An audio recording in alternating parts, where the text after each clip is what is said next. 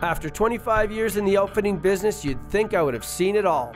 Well, the birds, the weather, and my cooks decided to add more stress to an already chaotic environment this year.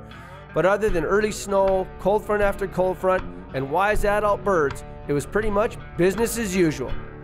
Brace yourselves, everyone. 63 days of craziness are coming. I'm Claudio Ongaro, and I take people hunting. I woke up one day as a 27 year old school teacher and said to myself, I'm going to build a hunting lodge. That was in 1994. Now I lead my dedicated team of guides for 63 days each fall, exposing my clients to some of the best waterfowl hunting of their lives. Controlled chaos, epic hunts across 5 million huntable acres. We are hired to hunt.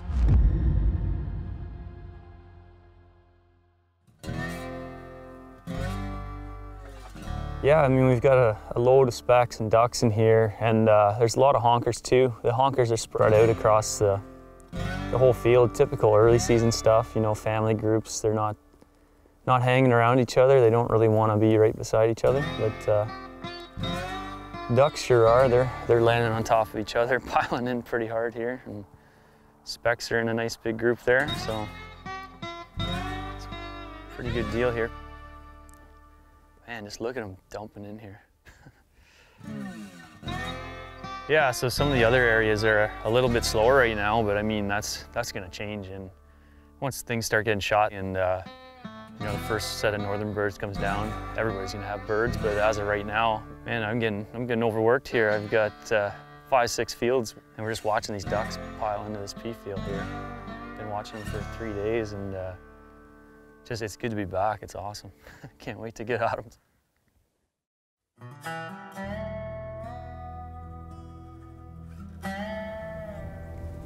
Hmm. Not enough.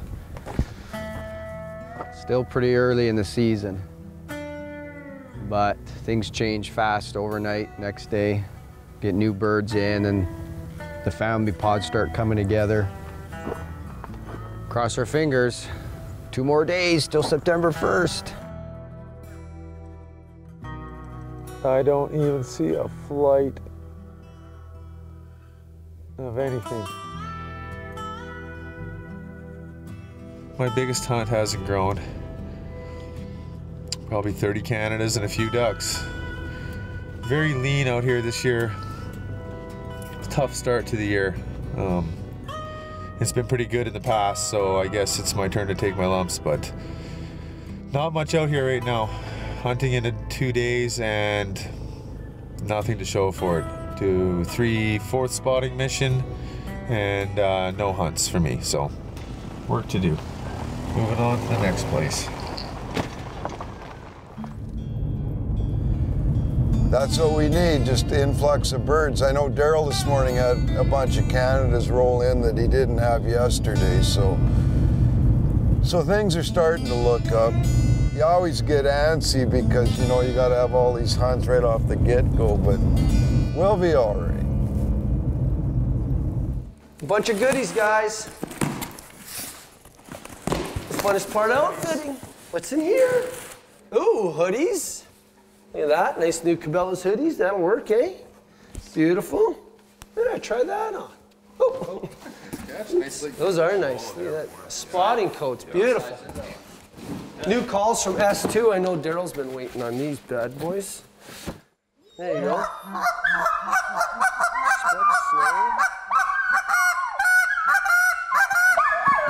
All right, there you go. Well, that's the one you're getting.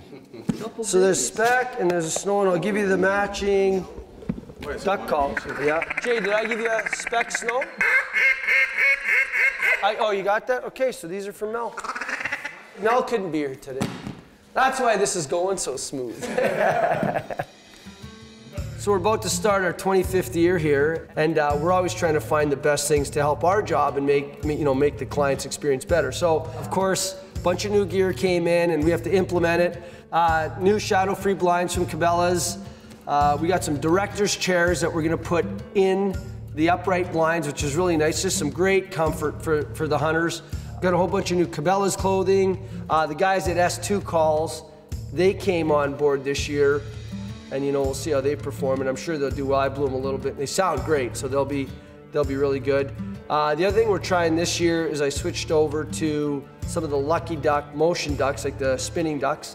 We got some, you know, the Benelli uh, Super Black Eagle threes.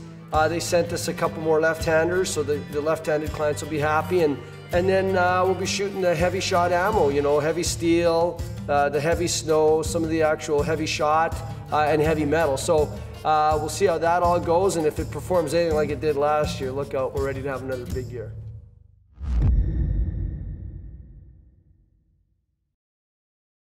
All right, so there's there's a whole lot more to outfitting than just decoys and blinds, you know. So I designed uh, these toolboxes to go on top of the flat deck. Gives us more room on the deck, obviously, than a conventional truck box. But it, uh, what's really cool about them, and they're not done yet. We just mounted this one last night, but this, this these rails are actually hollow and they fold right flat. And then we can get guns or ATV ramps in the sides, or uh, decoy stakes, extended poles, uh, and then the hunters. What we'll do is we'll pull up beside the lodge with the with the, this door down, and then of course they get their guns in there, and then we close it up, and then everything. Then all we have on the deck is decoys and gear, which is really nice. So I'm just putting finishing touches on this one and getting it ready for paint. And it's a day before the hunters show up, so we're pushing the envelope a little bit.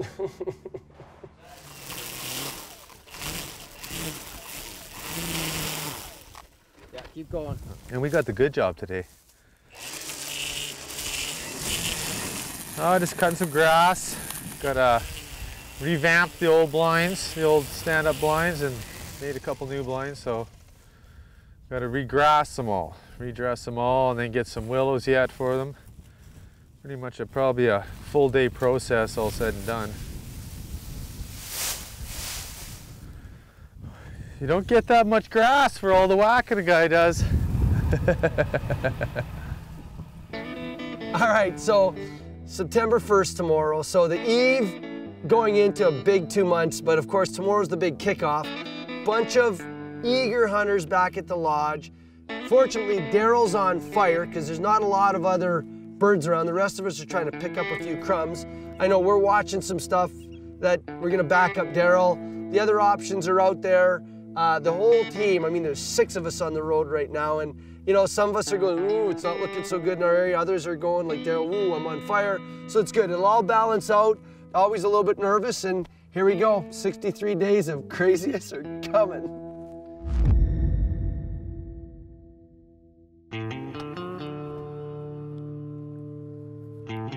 Awesome. Looks like Jeff got another honker hunt here too. This is a pretty good honker hunt right here though. Yeah, this one's looking really good for an opening day honker hunt. 400 of them come in small bunches, two here, three here, four here, 10, 15. Probably one of the targets now. Looks like it's gonna be just the amount of birds that are in it and uh, it makes, makes sense to do it right away. Get it done. We got a group of guys that wants to shoot some big Canadas. They're from the south. They don't get to see too many of them, so it'll be a pretty cool experience for them. Oh, here we go. Who's this? Claudio. Hello. Hey Daryl, how are you? Good, how are you? Good, good. Um, You're still looking good? yeah, I mean, some are starting to trail out now.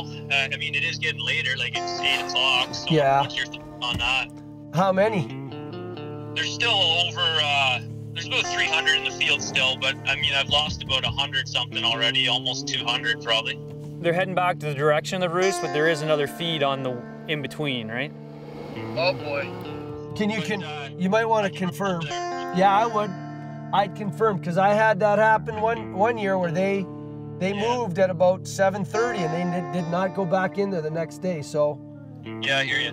What's the other target now? I'm waiting to hear back to see what Jeff's got. I hear the, the texts are just binging, so just Yeah. check your texts and then we'll know right away. I haven't checked. Sounds like Jeff's, yeah.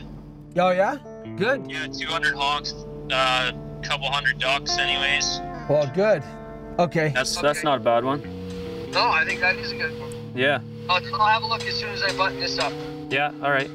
All right, bye bye. Bye.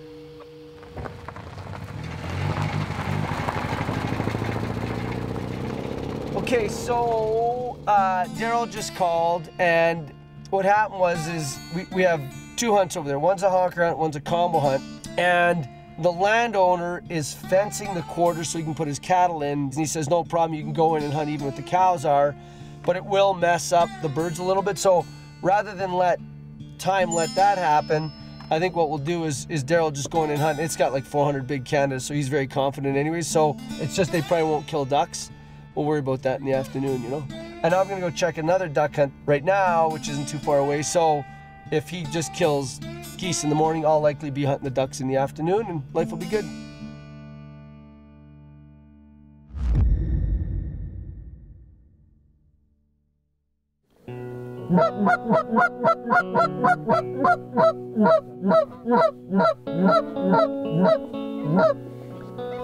Kill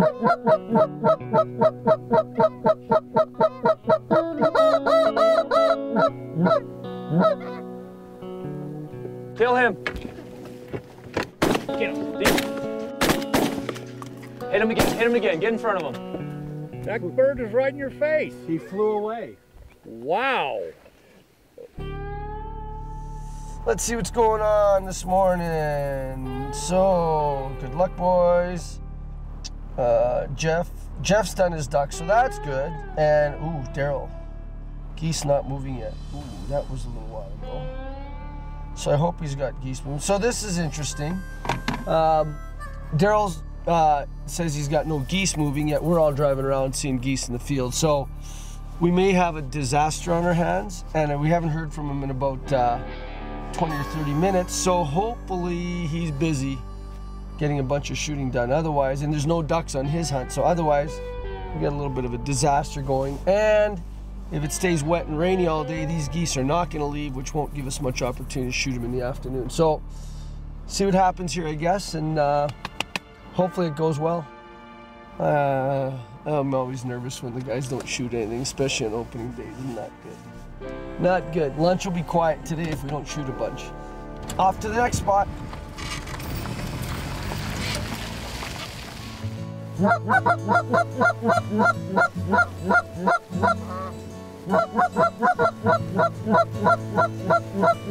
him in tight.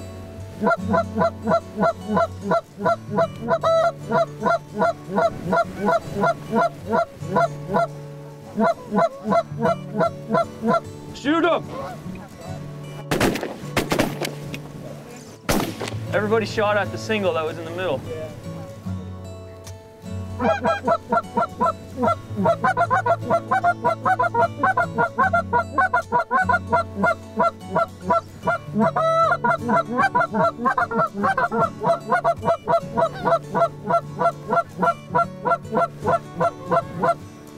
Shoot them!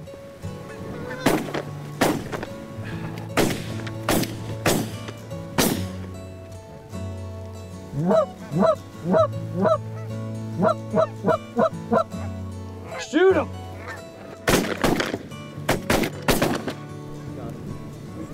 Oh, I got one. Hey! He's on the board. First one.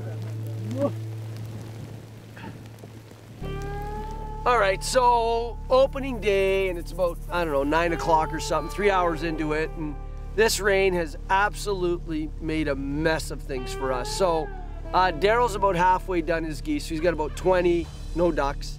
Jeff has all of his ducks, so he's got four guys, so 32 and about 15 geese. This rain has just messed things up. All right, so we had some rough weather this morning and uh, we're finally getting a break right now, but uh, the guys want to pack up and I'm seeing a bunch of birds flying, so we're gonna cut it short at uh, 24 specks and honkers and uh, head back to camp, get them back out this afternoon. Just, just a messy opening day. Uh, not the conditions we prefer, but uh, we still kill birds and you know, we've got the rest of the day still. So I'm about to witness a guy and his wife about to blow up this roost, which is feeding our afternoon duck or duck and goose hunt. So this guy here is going in there after I've spent three hours watching birds in a field, trying to interpret, figure out what's going on. And then you find a couple of, of guys that just want to go and, and puddle jump it. Oh, here it goes. Guns up. Ah. Well, that hunt's gone. They shot maybe 80, 90 yards at birds on the water. One shot, didn't get anything. And now all the birds are gone.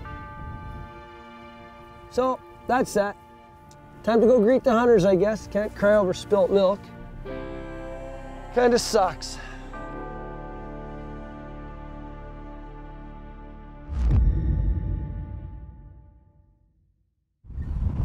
So our field's right over here. I watched this all morning and uh, gonna put Claudio in on it. Uh, and I'm gonna keep spotting this afternoon, but uh, there was a pile of ducks in here this morning, a few geese. We're targeting ducks this afternoon. Hopefully they do get a few geese, but I think they'll be finished before the geese ever show up. But it should be good. I'm just going to take him in and then uh, we'll show him what I've what I've seen, so that he can make his own decision on where he wants to set up. So this is where they fed yesterday too. Up, over, and down. Right, and and this morning all I could see was the heads from the road.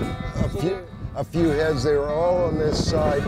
Like right there, Yeah, I'd set up like just down from that and have them come. that's what I'm thinking. Well, I'm gonna have a look right here and then figure it out. Okay.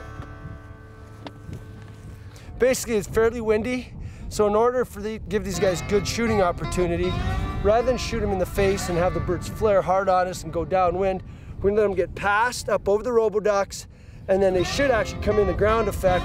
And as they start to climb to settle into land, boom, we'll, we'll call the shot, and they'll be just past the blinds, and then they fade back through the shooting lane, so you almost get double opportunity. So it's really cool. And if it doesn't go good, guess who's in trouble?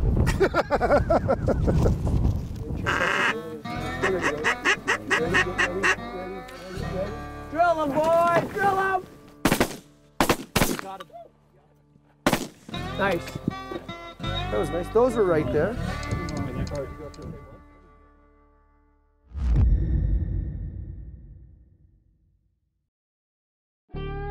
She's there at seven. You think that's the best play? Well, I think so. I think so too, right? Okay, I just wanted to check with you. Well, I mean, yeah, those those guys. I can't believe they did that to us again. Yeah, no, that's brutal. Brutal. They obviously don't care about our program, you know? Yeah. All right. You know. Done. All right, Kate, right on. Bye bye. Nice going. Yeah, thanks. Bye. Bye. Those guys screwed that hunt up again. Mel had it all buttoned up and they shot the pond, those same guys. Unbelievable. So, anyways, uh, you know, today it was weird. I mean, these these birds I saw them feed here last night, Mel saw them feed here this morning, and they just did not come to the party tonight. You know, I mean, I, I don't like it because it's opening day and I've been sitting in this blind since 2:30. Not a lot of fun, but uh, I mean, that's why we're always we're always nervous going into a hunt. You know, you think, oh, you get 2,000 mallards, lots of margin for error. You know, I don't think we saw 200 tonight. So uh, the ones that came did it. We killed enough, and uh, they shot decently, but uh, a little bit short. And then the boys are scrambling a little bit this for tomorrow morning. I think we're doing probably two of Daryl's hunts, so he kind of saved the day. The bad part is burning up his hunts faster than he can find them. But anyways, live to fight another day, and that's how it shook down. Now it's day two and we're out in this field here. Uh, it looked good last night. Lots of ducks, uh, mixture of geese, another pea field, second day of the season. It should be a lot of fun.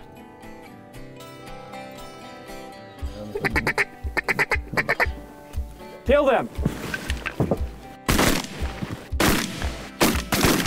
Sick. That was pretty good. Hey. Oh yeah, baby. Hell I got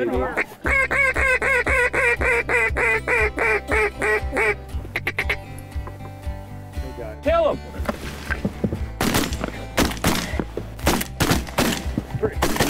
Deep. All right. All right. That's Back door. Big, big group over the sun coming too.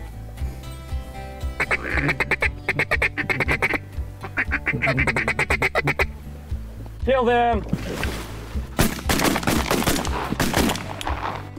Out the side, Pete. out the side. No. Right here, buddy. Good boy.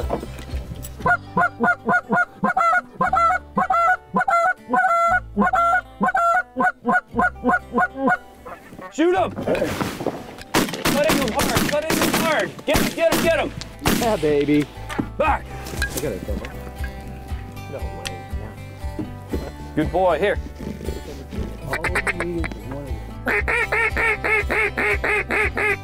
Shoot him, shoot him. Yes. Hey!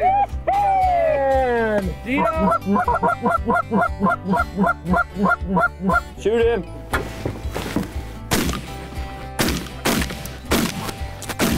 What the fuck is happening over there?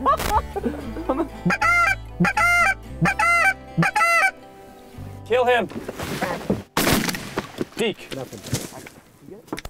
We all shot. Good shot. So we ended up with 40 uh, ducks and uh, eight honkers today on this hunt. Uh, it was good, lots of fun. We took our time, kind of pick and choose which uh, ducks we wanted to shoot. And uh, the guys had a great time, lots of fun. Uh, these guys here, they like to have a good time out in the blind. It's a lot of fun hunting with these guys and that's what it's all about, you know. Bit of a scramble last night. Some hunts got blown up by some other hunters. They blew up some roosts and uh, screwed up some of our, our field hunts that were using those roosts and uh, it all worked out. The hard work paid off. We're uh, right back in the swing of things here and it's going good. So it's been a, a crazy start to the season. I wouldn't call it the best, but uh, you know we have some of Alberta, if not Western Canada's finest on the road every day, and and it was a big scramble with a great team to put it together, and uh, we're doing well, you know. And Daryl Daryl wrapped it up with uh, with a great hunt this morning, uh, despite the new duck man. I like I love this guy. I love this guy, especially when he looks like a Drake Mallard. That's beautiful. I'm here on behalf of those ducks that are migrating down from the Northwest Territories. Okay. Um, I understand you're the guy to talk to. I am. I am. I am. How'd you like to be hanging feet up or neck up on the on the rock? Yeah, yeah. We just have to spread out the nails a little more Yeah, for you. yeah, that? yeah, yeah, Good. yeah.